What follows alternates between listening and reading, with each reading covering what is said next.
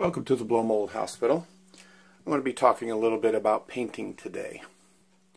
First I wanted to show you, if you've watched my previous videos that came out just before this one, I was doing some patching on a blow mold here, the Santa Claus. But not this Santa Claus, because this was my one that's in really good shape, has a few glue spots on it and things, but this is what it's supposed to look like. Boots nice and black, coat nice and red, but what I did with the other one, I had a couple of cracks and holes in it that I went ahead and repaired. And I got into an interesting situation. My interesting situation is, while he's supposed to look like this, I clean all my blow molds with alcohol when I'm trying to clean them or do any kind of repair on them. Whatever paint is on this guy, alcohol removes it. So even down here. So if you saw the other video, what I was trying to do is repair a couple of holes here and up here. And I wasn't worried about the paint loss because I was going to add the paint back. Um, and this was all faded here, but alcohol, I applied it to the boot here and I noticed it started smearing. And I'm like, it's not cleaning up at all. So I just rubbed it a little bit further and it absolutely is removing the paint from this all the way around. So that's interesting. I've never had that happen before, but whatever formula they've used for this, alcohol removes it. So right now what I'm going through is I'm trying to get this thing ready. And again, I thought I was just going to cover it with alcohol and get it ready for painting, but nope. So these little scuff marks here, I've been going over here and along through here, any of these marks. I've been using my 2000 Crit um, grit sandpaper and just gently buffing over them and uh, to remove these marks. So rather than just start off painting, I got to remove some more paint from this one. And then I might go through and uh, remove some more of the red. But first of all, I'm going to go through, excuse me, and remove all of these marks. So I'm going to do a little bit of sanding here. You all don't need me to sit here and do that while I'm uh, recording. So I'll get this cleaned up and then we'll be back to talk about painting. A little bit more work than I thought. Alright, remember when I said that the alcohol was pulling the paint off of this thing? I wasn't joking. It literally melted the paint right off of it down to the plastic.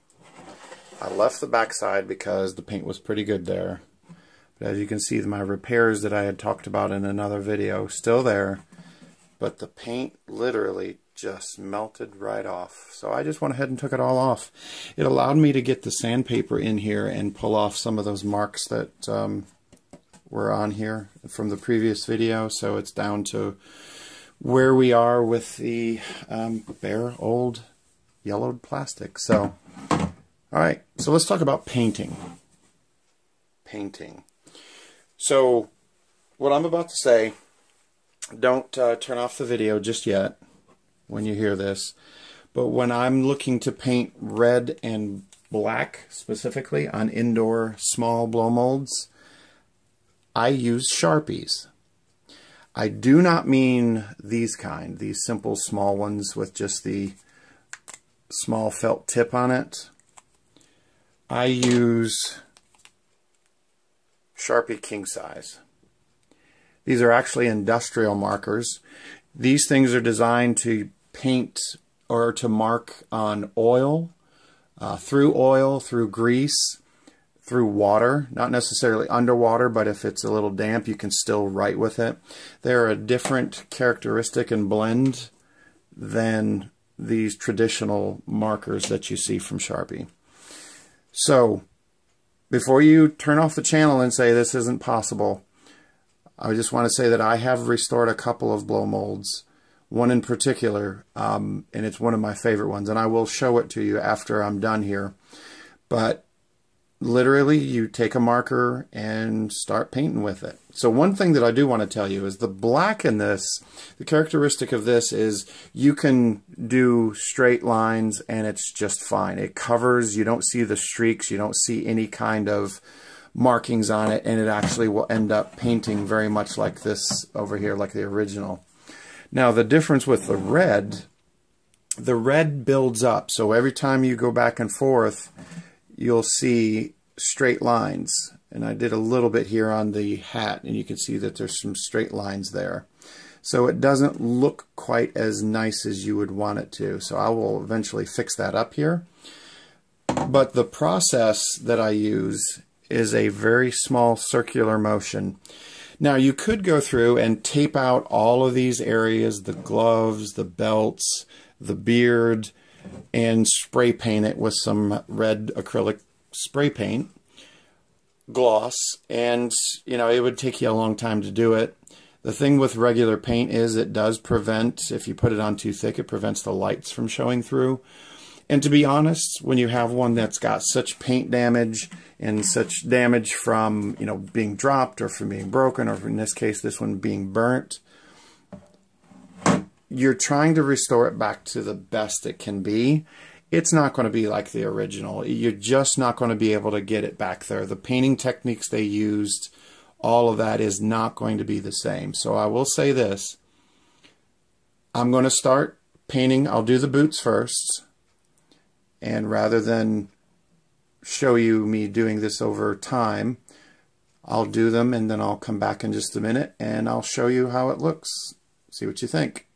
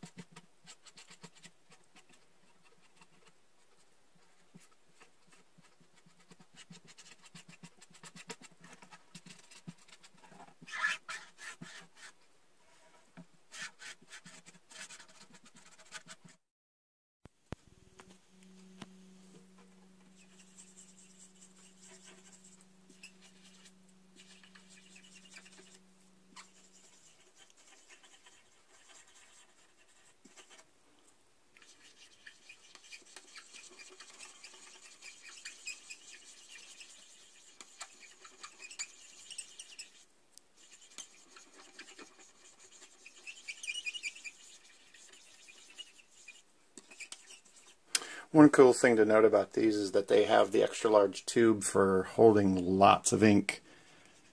So they do a really great job. So really quick check-in once you look at those boots. If you recall, this one was still painted and it gummed up a little bit as I painted over it. I was a little worried about that. Um, the paint as it dissolved with alcohol it also dissolved a little bit with this, these markers.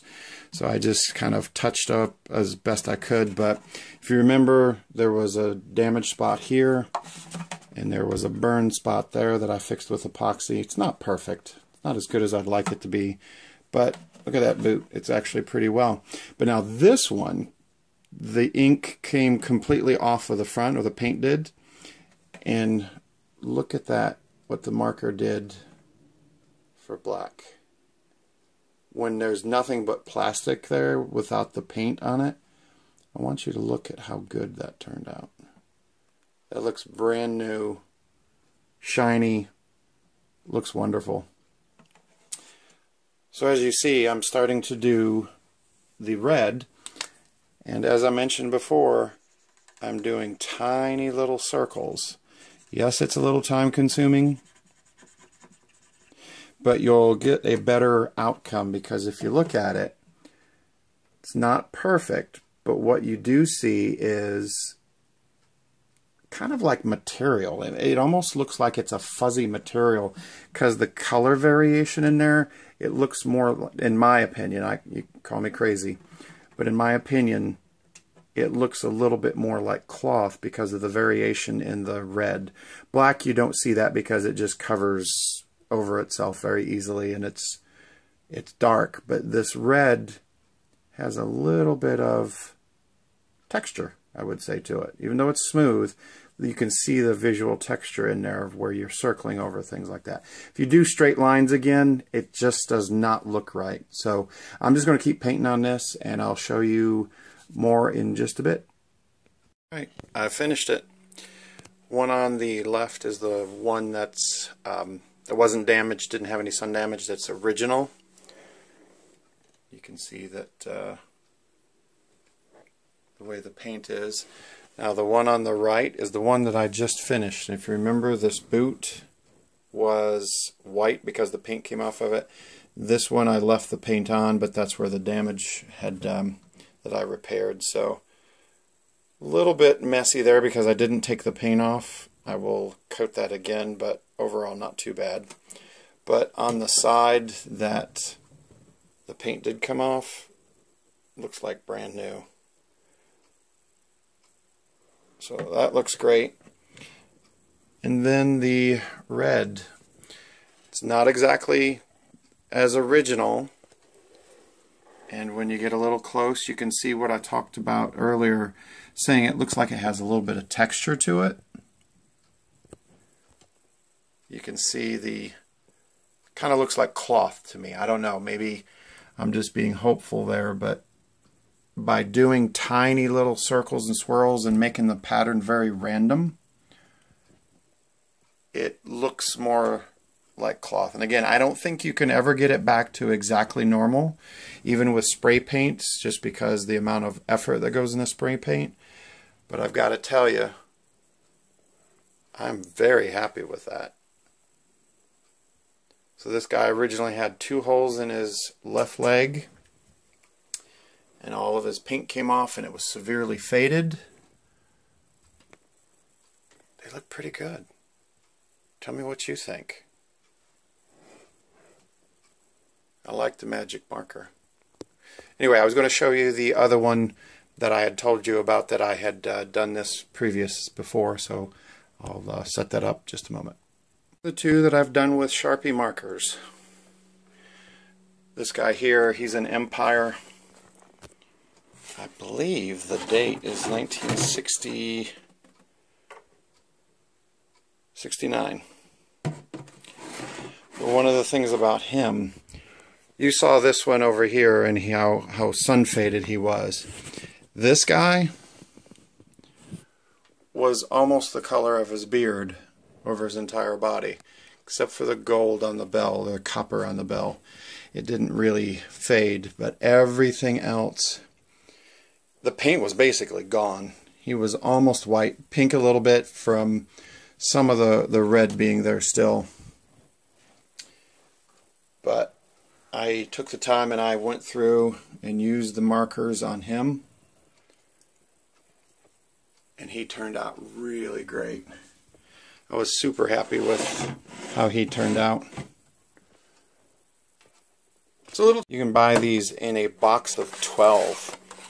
Um, I think when I bought the black ones, they were a dozen for I think they were on special on Amazon for like 10 bucks.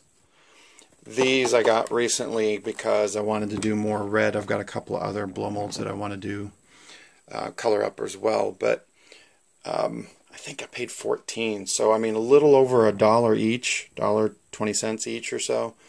And when I got the black ones, they were less than a dollar each. And again, these are big with lots of ink and they do the job. I hope you all agree, but let me know what you think, if it was worth doing or not, but I'm really pleased. Anyway, thanks for joining me on the Blow Mold Hospital. Sorry for the length again, but I want to make sure that I cover everything and all the steps. Thanks again.